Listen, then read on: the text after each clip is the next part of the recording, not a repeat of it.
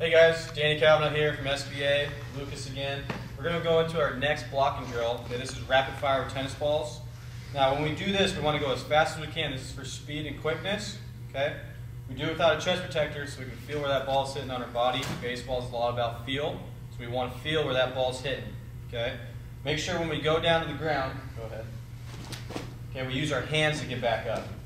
Okay, it saves energy in the long run and it's quicker than using our legs. Okay, so here we go.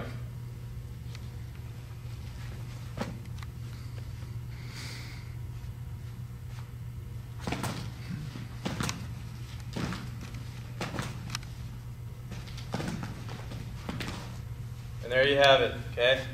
Tennis ball rapid fire blocking drill. Good job, guys. Stay classy. Hoorah, catchers.